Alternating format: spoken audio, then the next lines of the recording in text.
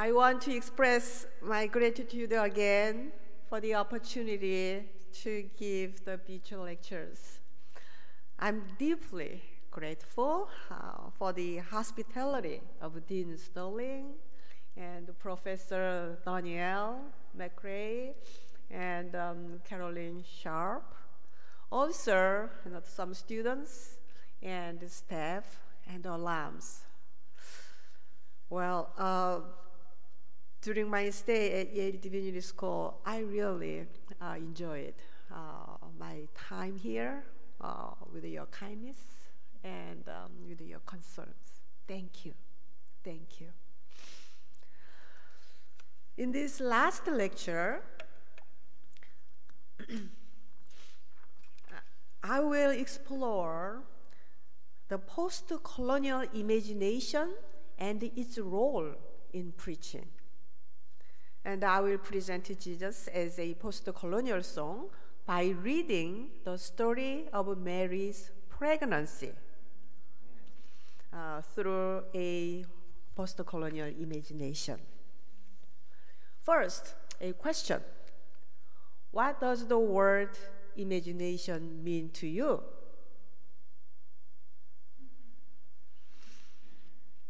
It is a word that has been defined from multiple perspectives over time and is often used to describe the process behind artistic creativity, fantasy, scientific discovery, and invention. In other words, people tend to understand the imagination as the image making power of the mind, or that which lies behind the act of creating or producing something serious uh, previously perceived. However, this understanding has been criticized uh, for representing 19th century romantic views of art and imagination in opposition to reason. In his book, The Body in the Mind, Professor Mark Johnson argues that imagination is not separate from reason because it is our capacity to organize mental representations, especially percepts, images, and image schemata into meaningful, coherent unities. The theologian Patrick Sherry helps us understand imagination more comprehensively, writing in his book Spirit and Beauty that imagination involves not only the reasoning part of the mind, but is the whole mind working in a certain way, involving perception, feeling, and reasoning. Thus, imagination is an act, active power combining ideas and creating something new by mediating memories and present experiences with future action events, and hope. It is one of the most advanced human Uh, faculties involved in various types of spirituality. It is noteworthy that our imagination depends on our partial memories and fragmentary experiences and are confined to our limited life situations. Just as our memories and experiences are partial and fragmented, so too our imagination. Therefore, if we seek the wholeness of the truth through imagination, we must stretch our imaginations by sharing the memories and experiences of others. Imagination shared with others makes it possible for us to come closer to the holies of the truth. The post colonial imagination is a shared imagination and is shared especially with the colonized of both past and present. In post colonial imagination and feminist theology, Kwok Pui-lan explains the shared nature of post colonial imagination in three modes historical, dialogical, and dias, uh, diasporic. The historical imagination is a practical wisdom born out of the experience of the enslaved and colonized women of the past and present. Their voices and their unwanted stories in the history of Western colonization can be retrieved as part of the process of imagining a new world. By dialogical imagination, Kwok means a deliberate strategy for reading biblical texts through dialogue with non Western myths, stories, and religious resources in a deepened engagement with post colonial theories and cultural studies. When she discusses the diasporic uh, imagination, Kwok understands the meaning of diaspora in a general sense to include all those who have migrated from formerly colonized countries to the metropolitan West for various reasons and in many situations. She explains that diasporic imagination, based on their diverse lived experiences, help us see our world through their eyes, and hence the center, the central, the cultural norms of Eurocentric Christianity. The post colonial imagination is a medium to connect the preacher and the listeners with those of diverse experiences across racial, ethnic, gender, and class lines, and help them see things from an unfamiliar point of view and discover empathy toward those other people in solidarity with them. Furthermore, a post colonial imagination is a spiritual channel that connects the divine spirit with the human spirit. Like the Mobius strip, where the two ends of the paper are attached with a half twist and they become one surface. The divine spirit is infused into the human spirit to become one. In the process of imagination, the Holy Spirit vitalizes and liberates the human spirit. And the human spirit is inspired to create something new, new images, new patterns of meaning that are different from those of the colonial imagination. The post colonial imagination is therefore a divine gift, the God power in the soul. As a Henry Ward Beecher defines imagination in his Yale lectures in 1873. It is noteworthy that in her essay, Ungrounded Innocence, the feminist scholar Karen Bray criticizes that American Protestant Christianity, founded on the ground of European American Puritan culture, has legitimized white supremacy as divinely ordained and whiteness as cherished property. And this colonial imagination has evolved into a myth through Christian preaching, liturgy, and ritual. She urges that this diseased imagination needs to be replaced with a post colonial imagination by actively dismantling structures that have sheltered all white Christians for far too long.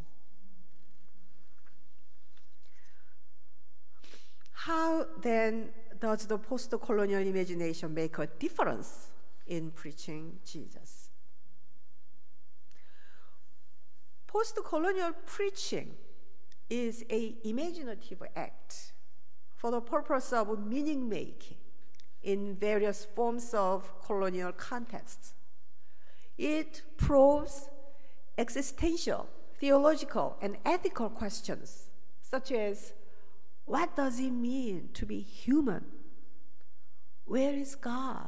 And what God is doing to make and to keep human life human? Or what kind of a world do we want to bequeath to the next generations? A post colonial imagination makes it possible for preachers to respond these questions by providing new images, metaphors, and symbols of Jesus Christ based on the colonized people's personal and communal experiences and collective memories, and help listeners reconsider their identity reflexively. In addition to new images of Jesus as a post colonial self and a post colonial child that I presented in my previous lectures, another image of Jesus is a post colonial song. This image comes from reading Luke's account of Mary's pregnancy through a post colonial imagination. In Luke, the story of Mary's pregnancy immediately follows Elizabeth's praise to God for her own mirac- miraculous pregnancy in chapter 1, verse 25, in which she proclaims, The Lord has shown his favor and taken away my disgrace among the people. Mary's song is then made up of three vignettes. In verses 26 to 38, the angel Gabriel appears to Mary and announces Mary's pregnancy by the intervention of the Holy Spirit. From verse 39 to 45, Mary visits Elizabeth and is convinced that his pregnancy indicates God's favor. From verse 46 to 55, Mary responds to God by singing a song, the Magnificat. And verse 57 concludes the story saying that Mary stayed with Elizabeth for about three months. Reading this story through a post colonial imagination requires a dual vision from the preacher one for the world in the text and one for the world in the context for preaching. For such a reading strategy, the practical theologian Richard Osmer's four tasks of interpretation are helpful. In his book, Practical Theology on Introduction, Osmer identifies the first task as descriptive and empirical, focusing on the question what is going on.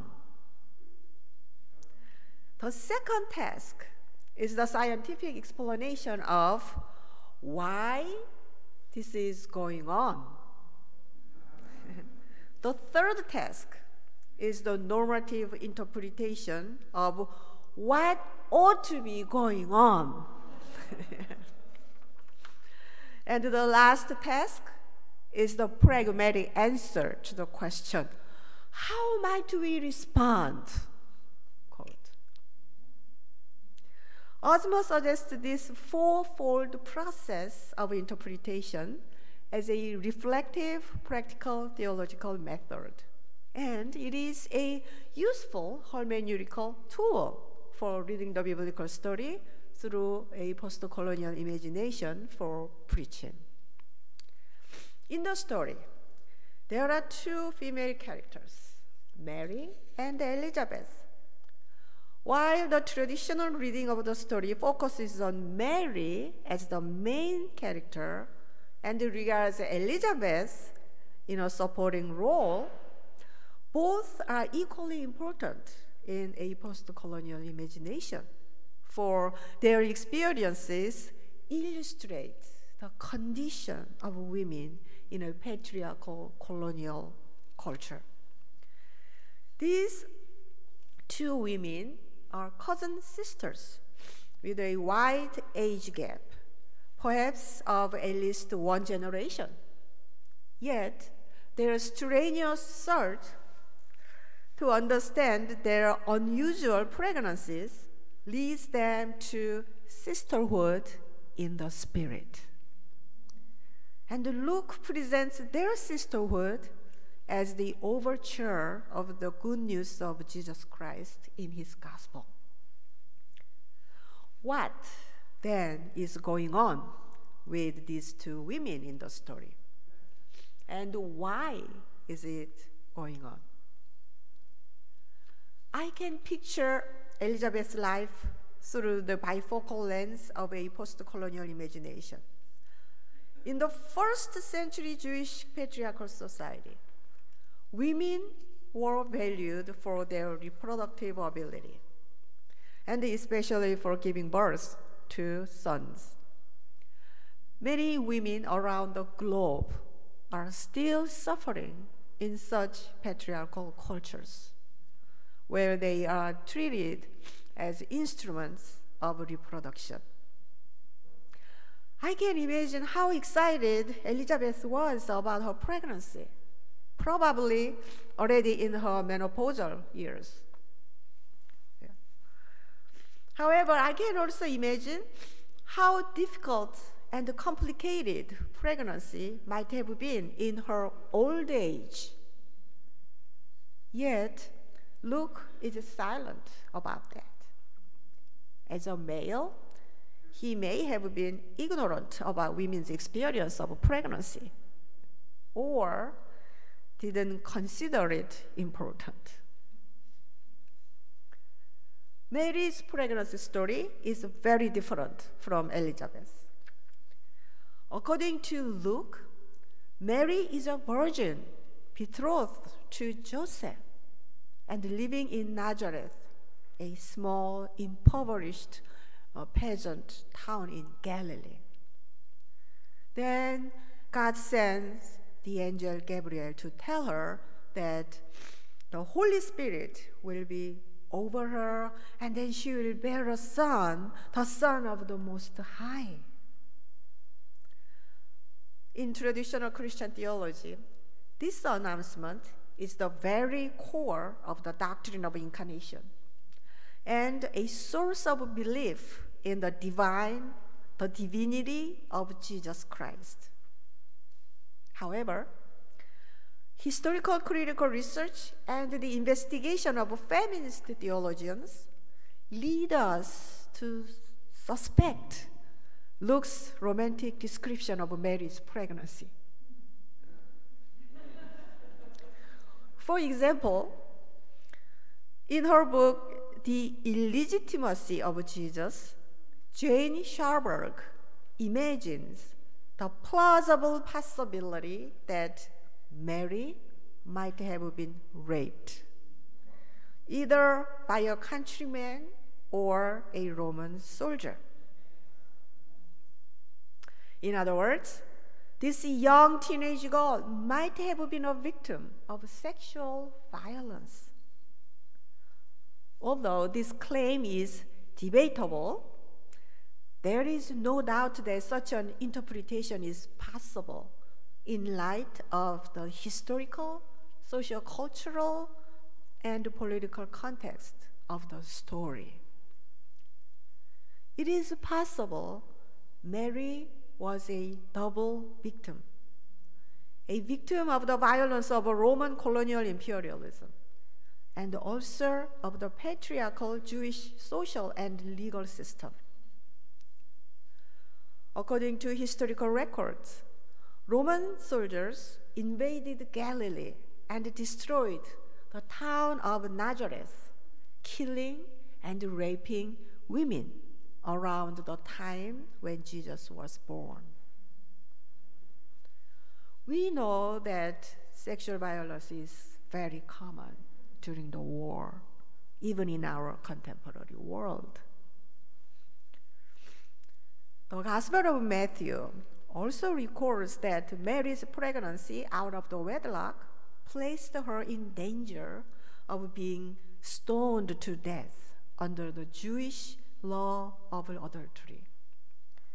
It is for this reason that Joseph, her fiance, wanted to divorce her quietly to protect her from disgrace and the life threatening danger. While Mary is voiceless in Matthew's account, Luke gives her a voice by telling her pregnancy story not as the story of a victim, but as a story of God's mercy. According to Luke, God is directly involved in Mary's life. God sends the angel Gabriel and her uh, sister Elizabeth at this critical moment in Mary's life and convinces her that God is working through her pregnancy. Perplexed by Gabriel's announcement of her pregnancy, Mary runs to her cousin sister Elizabeth in fear. Elizabeth, who is living in and with the Holy Spirit, quickly recognizes Mary as God does and understands God's grand plan for her. With her own embodied joy leaping in her womb, Elizabeth prophesies God's promise to Mary and her baby in a loud voice. She is indeed fully human, a spiritual being.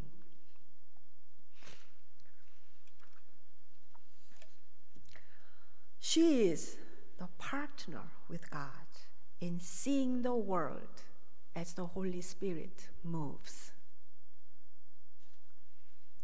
When Mary encounters Elizabeth, the Holy Spirit in Elizabeth moves into Mary's body and soul, and she stands in a third space, a creative, holy ground, and imagines a new world, a world in which her powerless colonized people, the lowly and uh, poor, receive God's mercy. Mary sings what ought to be going on for her people in her song. She first praises God's mercy on her and then proclaims God's victorious deeds for her oppressed fellows. Your mercy on those who fear you from generation to generation.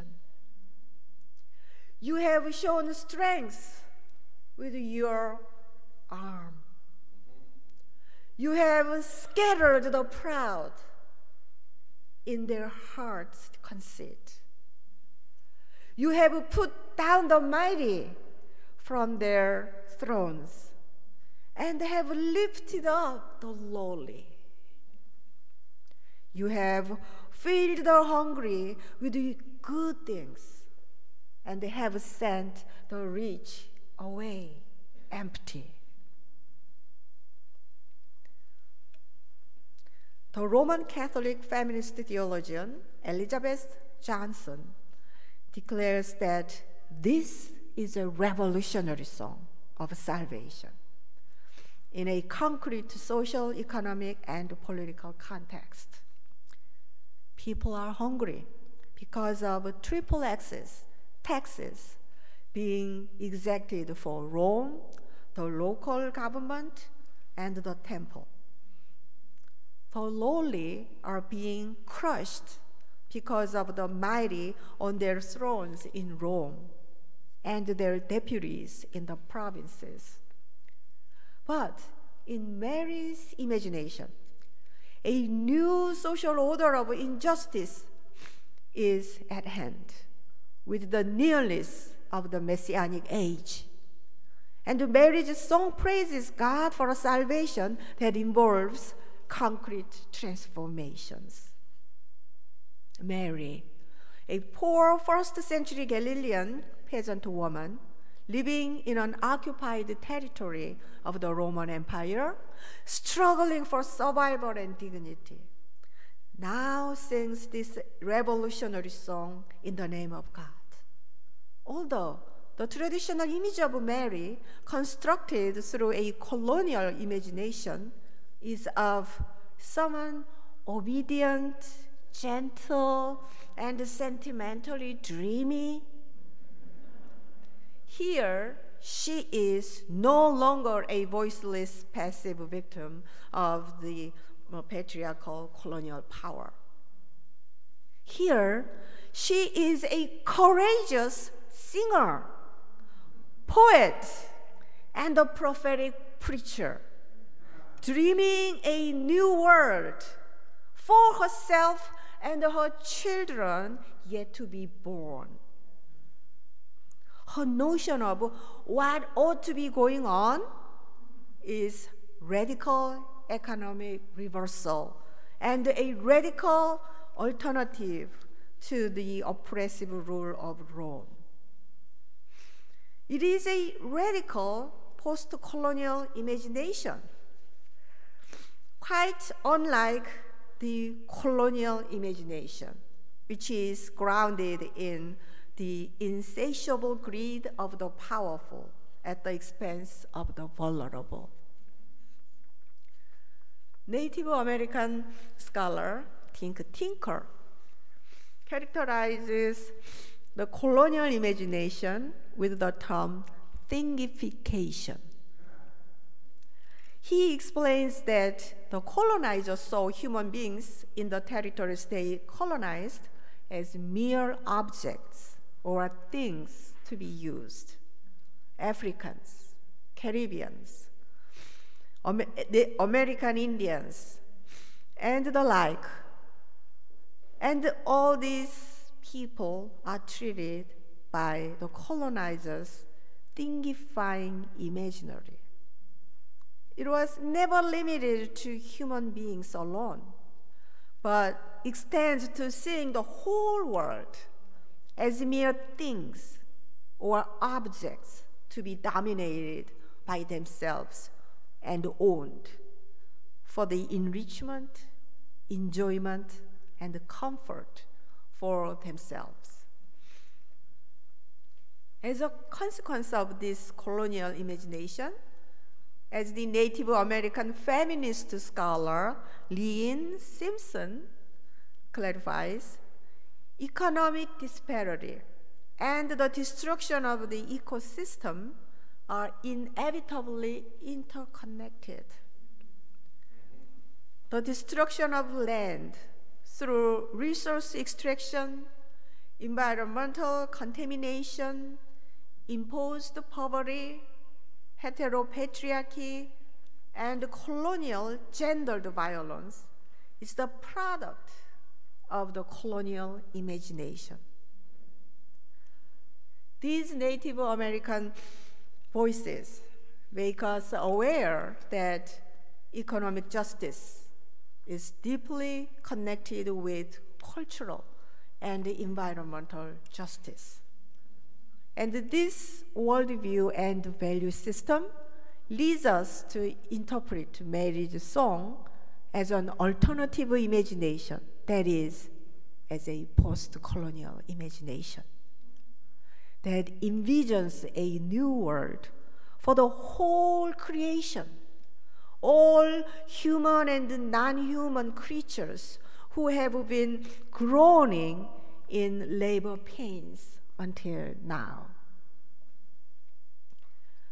Thus, marriage song is a post-colonial song for life, not just human life, but the life of all living creatures with respect for the land, water, and soil.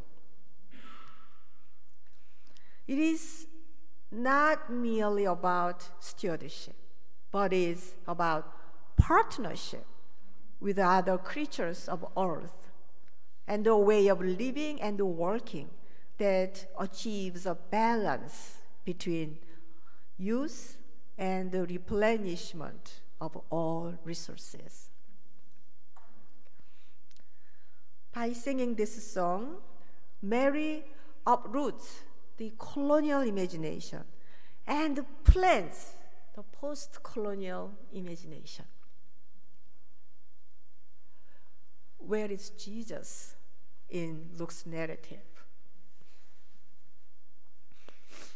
He is unborn. Yet, the unborn Jesus is the source of Mary's post colonial imagination. In other words, the unborn Jesus is a sign of the coming reign of God. And Mary's post colonial song is a preview of his future ministry. Jesus must have listened to Mary's song from the day of conception through the developmental stages in her womb. Even after even after he was born, he would have grown up listening to his mother's prophetic revolutionary song again and again. Indeed, he was a preacher's kid.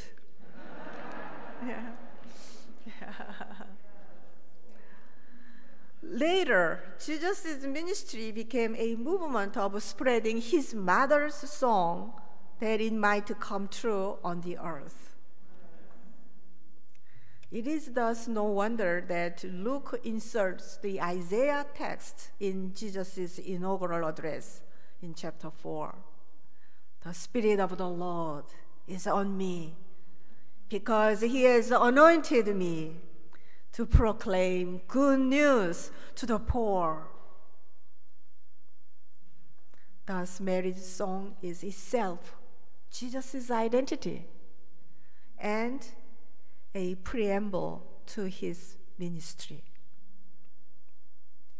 By recognizing the identity of Jesus as a post colonial song, a sign of the coming reign of God, we recognize our own identity reflexively in a new way and respond to the song by preaching Jesus as our contemporary freedom song. How can we compose our freedom song? In other words, how might we respond?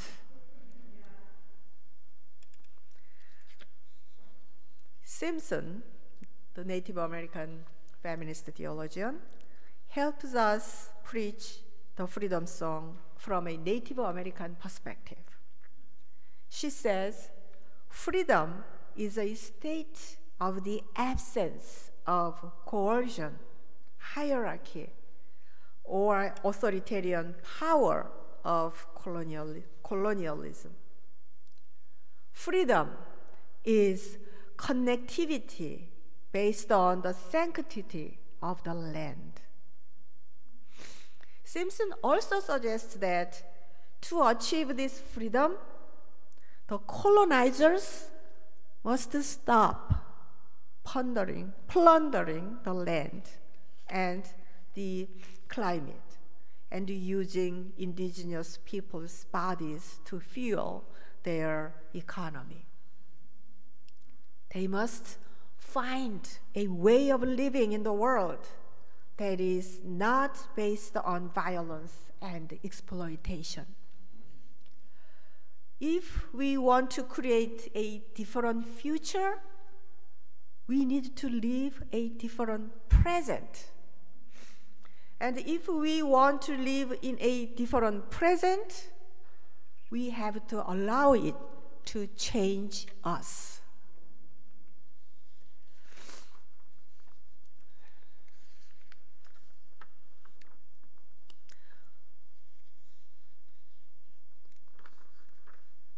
There are many ways to preach Mary's song.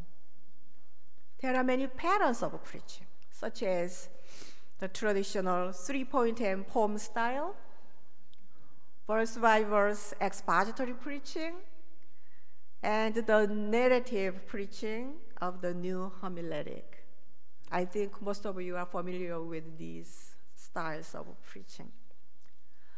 While these various preaching styles can be used creatively in uh, preaching Mary's song, I think some literary genres less familiar to preachers can be useful too.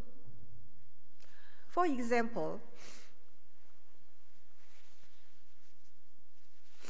writing a community letter is a possible literary method for preaching Jesus as a post-colonial song.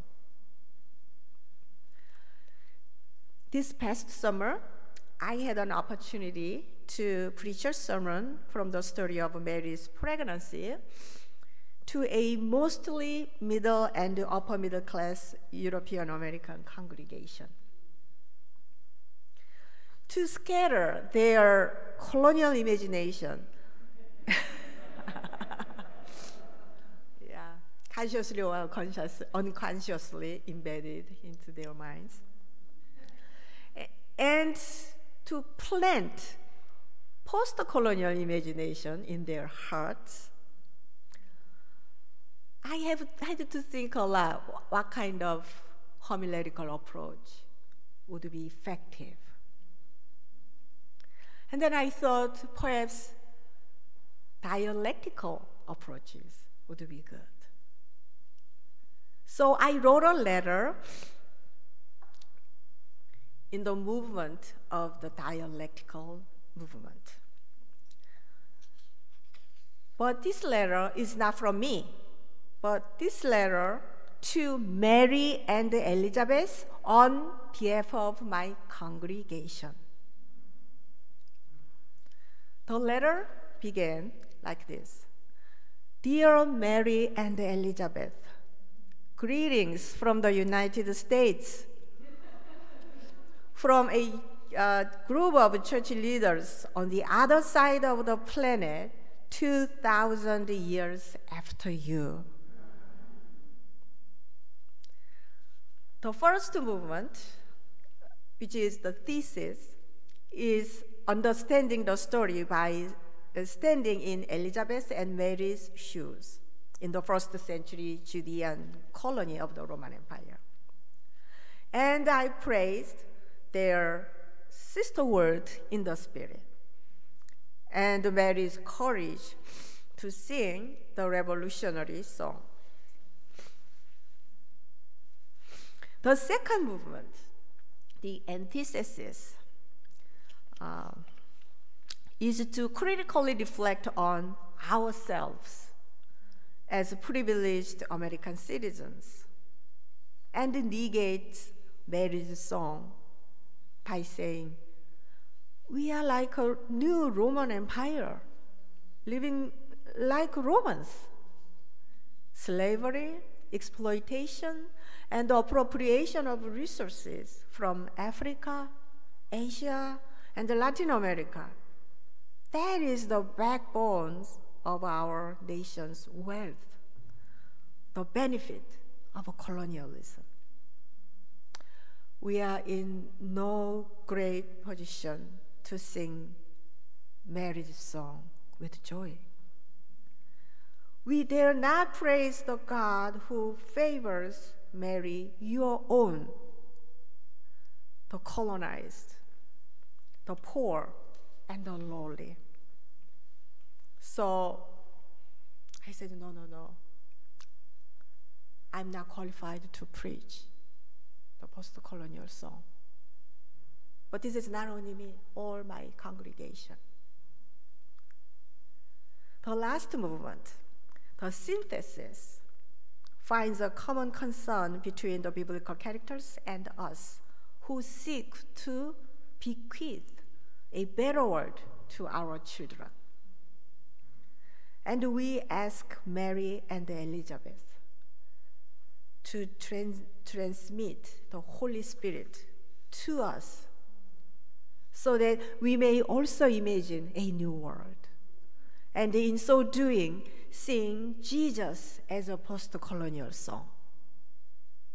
The sermon concludes like this Sister Mary and Sister Elizabeth, bless us with the imagination to live as faithful disciples of God in our time of crisis, as fearlessly and compassionately as you. This sermon, uh, in the form of a letter, illustrates that preaching Jesus as a post colonial song is a prayer, a communal prayer to the Holy Spirit to help us sing a revolutionary freedom song wholeheartedly, not only in words and melody, but in action. Just as Mary sings a vision for a new world on behalf of her children, so do we. In the face that the Holy Spirit is moving ceaselessly to make a difference in God's creation. By preaching Jesus as a post colonial song, we share the divine pathos and imagination with the world and become prophets of the coming age, just like Mary and Elizabeth.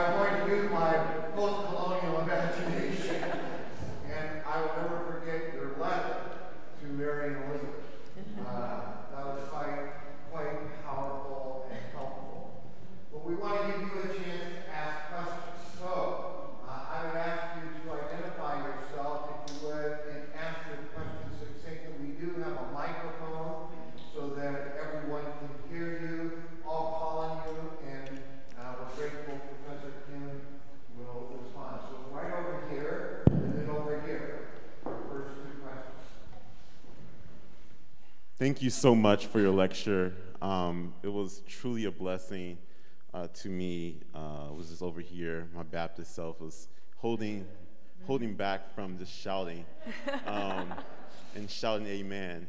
Uh-huh. Um, but I wanted to uh, first ask the question. You mentioned something about you speaking to a congregation, preaching at a congregation, having to implant the post colonial imagination with that congregation. I would like for you to speak more about that process um, for those of us who are going to be going into congregations who do not hold um, that post colonial imagination or do not come from that positionality. Um, what were some of the things that we can do as preachers and practitioners in um, trying to move the, the needle and, and activate um, our congregations to do this work? Uh, to have that post-colonial imagination? Uh, what can we do to, uh, to get them to hold that viewpoint? What, is, what was that process like for you? Mm-hmm. That's a good question. Yeah. I think um, in my lecture, in the first part, I explained uh, what uh, a post-colonial imagination uh, is. And then second part, I interpreted the text, you know, uh, through a post-colonial imagination. If I give a lecture on a post-colonial imagination in my sermon, you know, most sermons are lectures, right? then uh, my congregation might be sleepy and bored. Uh, okay, okay, I know what you're talking about. However, when I invite the congregation to read the text with me in a different way, and then eventually discover a new image of Jesus, then they're gonna have a aha moment. So if we preach in that way, the congregation might be happy to be challenged. and they may want to use their own, uh, their own imagination, which has been contaminated by post-colonial, uh, by colonial imagination, uh, into transforming into a post-colonial imagination. So the process of imagination is not a kind of a quick one thing. It's an ongoing process, and then feeding our congregation's minds and hearts with fresh new images. Yeah, fresh new spiritual food.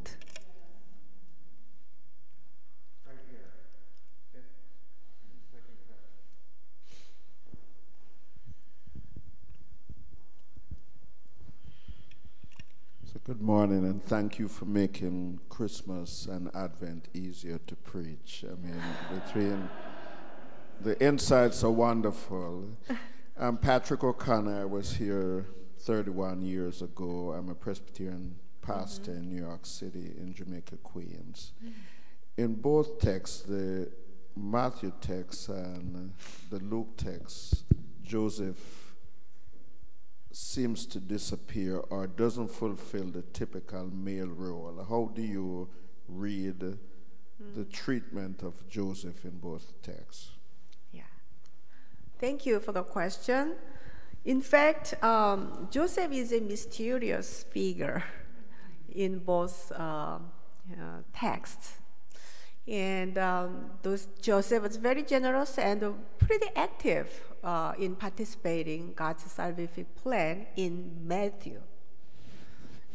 Not Mary, but Joseph met the angel. And not Mary, but Joseph heard the voice of God in a dream. And he was the one who led his family to the journey of migration to Egypt. So wonderful man. He wanted to protect his fiancée from, you know, the disgrace and the shame. Wonderful picture of a ideal man, I think, you know. Um, um so perhaps uh, male preachers who want to reinterpret the nature and the role of uh, maleness can, can study this um, Joseph's um, you know, uh, role and then present? What shall we do in our post-colonial world to spread the peace and justice. So this is a, um, your role, your responsibility to figure out how we connect this man, the first century colonial world, to the man in the 21st century post colonial world. So mm. I'm very curious about hearing male preachers' sermons on Joseph. Just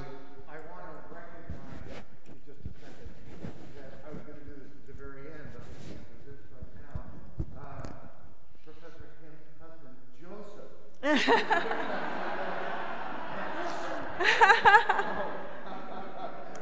just thought that was worth noting. Yeah. So, Marilyn or Professor, I don't know who is first, Marilyn or Reverend you got the mic, and then Marilyn. Thank you so much. It was such a um, um, powerful way of, of, of reimagining. And I guess I wanted to ask you you, said that this song and this singing was revolutionary. Mm-hmm. And I, I'm wondering if that is true, do we have to be mindful in daring to sing this song and to preach it? Mm-hmm. That we must pray for an attitude toward preaching mm-hmm. being more than just the congregation being intrigued by our fresh approach to Scripture, yeah. but recognizing that it might be dangerous. Mm-hmm. Uh, it might cause some unnerving. And then, secondly, mm-hmm. if what you have taught us this morning might also mean that we as preachers, pastors, cannot leave our uh, choirs and music departments untouched. That there, may, mm-hmm. that there has to be a kind of theomusicology mm-hmm. so that we're not preaching Mary's yeah. song, but then the choirs are just mm-hmm. singing the songs of the empire. Yeah. Which is just praising God mm-hmm. without yeah. calling the church to mm-hmm. live out the calling of mm-hmm. God. I want to thank you so much for for, yeah. for raising that, my, coming from a music family. Thank you. Yeah, actually, um, one of my suggestions uh, for preaching the Mary's song is to compose a music. If um, you are an Episcopalian pastor or preacher, or the Roman Catholic uh, priest to preach, then you have to preach what? Seven minute homilies? Yeah? Then a song for seven minutes might be very powerful. So you can compose a song or just, to you know, words might be enough as a contemporary uh, liberation song. Then uh, that is another idea for homiletical strategy.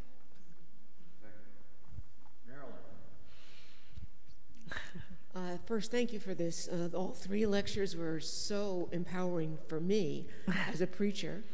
Um, but I am curious. You said that the fourth thing is is our response, and I'm wondering about if you've ever actually preached to a congregation uh, the notion of uh, the possibility that Mary was uh, perhaps raped. Mm-hmm um, because I did preach a sermon where I suggested that Abraham going into Hagar, Haggai, Hag, Hag, Hagar, Hagar um, that that was very similar to enslavers in the uh, mm-hmm. antebellum South mm-hmm. uh, impregnating their slaves mm-hmm. for their own benefit. Mm-hmm. And it was not well received.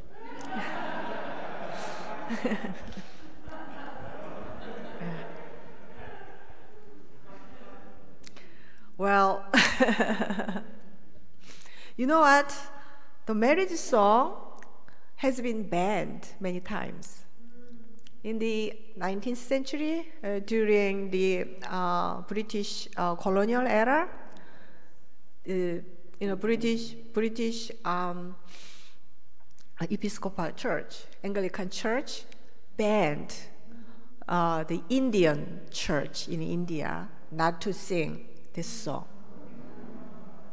And then uh, during the 1970s, um, uh, I think the country's name is El Salvador. You know, uh, you know the mothers of the disappeared because the children were disappeared because of the tortures of the um, dictatorship. Then they got together and sang, and the, the and then the authority banned to sing the Mary's song um, in public. And then even in Guatemala in 1980s, this song was banned. No one should sing this song. and then you courageously sang Hagar's song, like a Mary's song, you know, in your church. When we do this kind of courageous act, we also need to uh, consider that perhaps we might be banned to preach this kind of song. Yeah.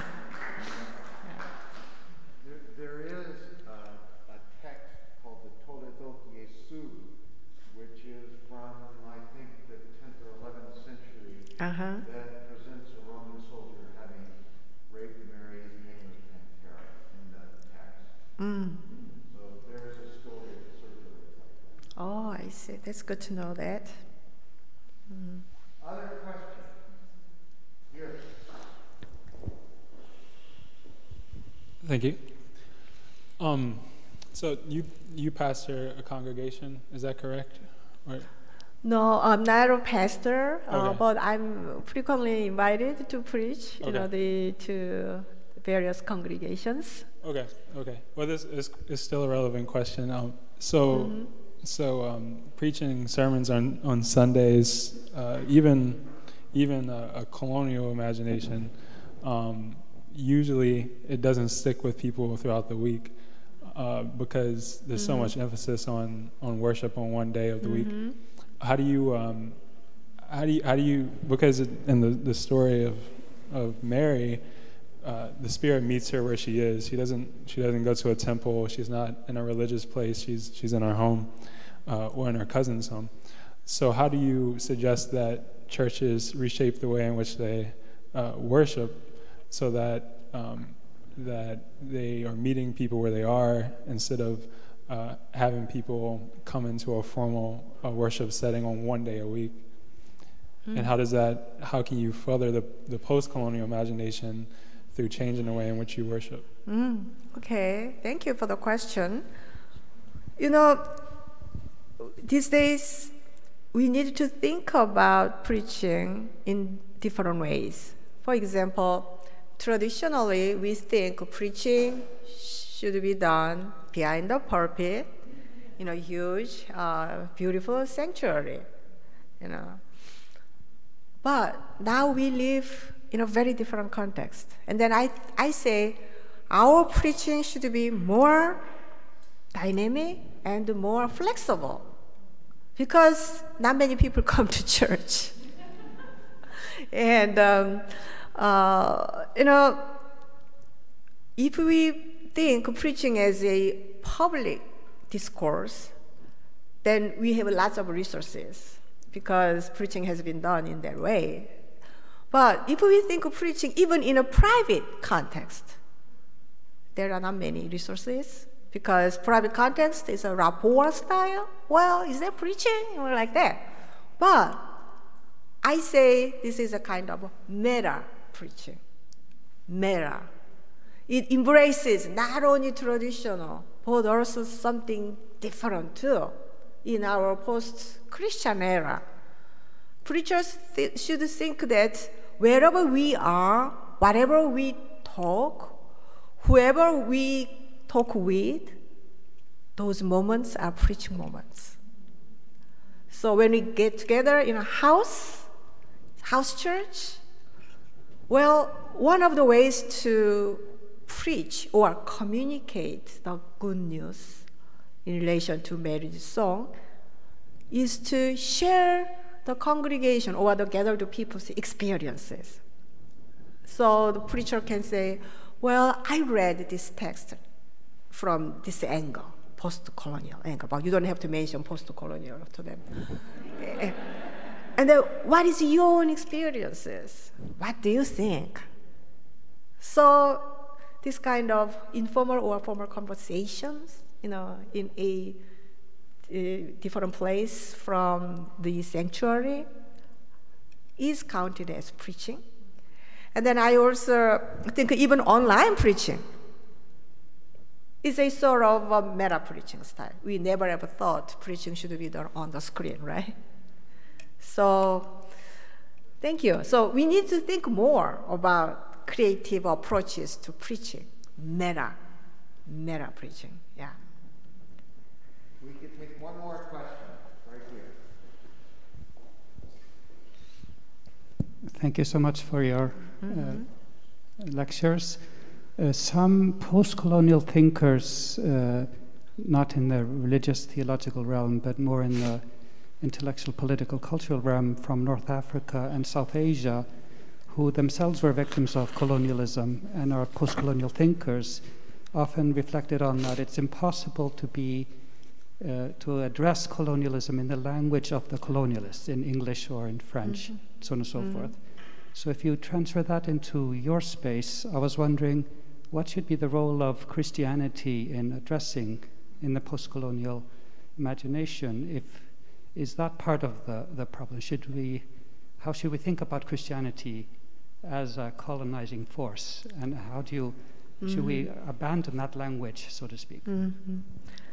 You know, I mentioned in my lecture um, Kwok Pui-lan's three modes of post-colonial imagination: historical, dialogical, dia- diasporic. Well, the f- first one, the historical imagination, is very related to uh, the Southeast Asia or other colonized countries' Christian believers. We have all the time i mean i as a one of the colonized peoples in asia uh, i have been grown up hearing the biblical stories just biblical stories not our stories. So i have to throw away all my cultural identity and religious identity and then fill my empty self with the Western understanding of Jesus, white Jesus. But historical imagination, as Kwok Pui-lan said, helps us to understand the Bible from our own experiences.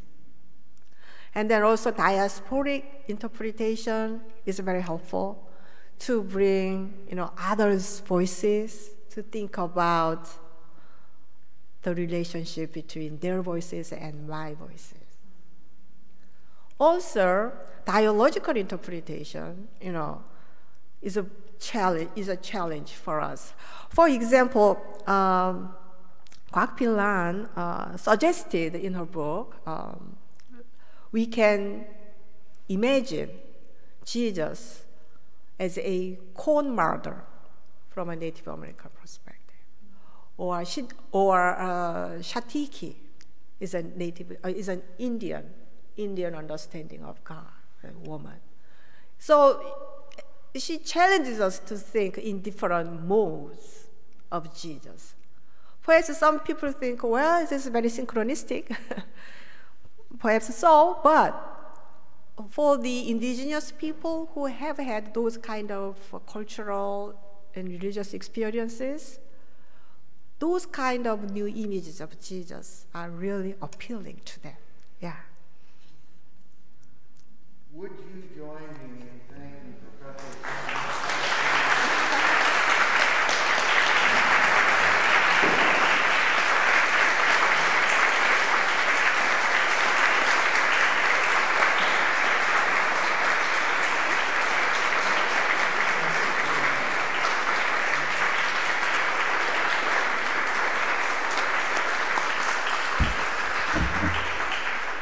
Thank all of you for being here, and I'm going to use the Jewish expression, YDS next year. it begins with Y, just like Jerusalem.